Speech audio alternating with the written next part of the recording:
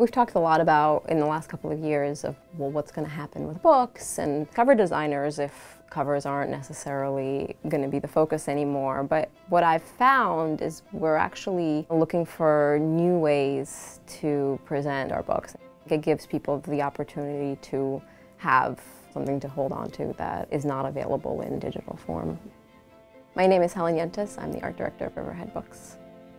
We have a number of amazing authors that we work with. So what we try to do is provide distinctive packages with our normal editions and then from time to time come up with something that goes beyond that, something that is obviously special, limited, and in that way we're really not bound by what our limitations are with a normal jacket.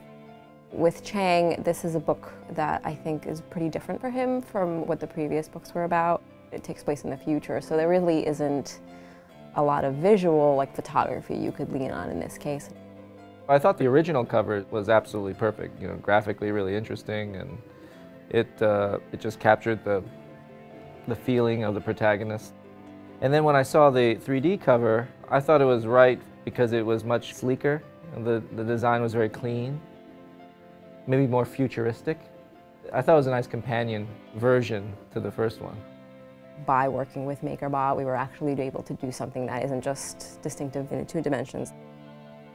Helen came up with a great typography for the, the case of the book, and what we sculpted that goes around it really continues the typography into a three-dimensional format.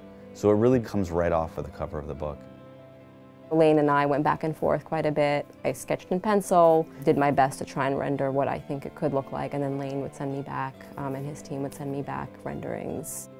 So this is my very first kind of rough sketch idea of um, building a dimensional cover for the book.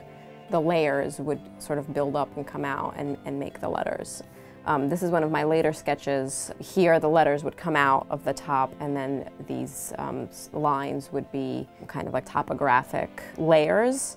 But the tricky thing was how would these layers actually interact and I think in the end it, it became a little bit too complicated. Here, this is a full case and the letters would come out of the surface here and then move into the surface, leaving a hole.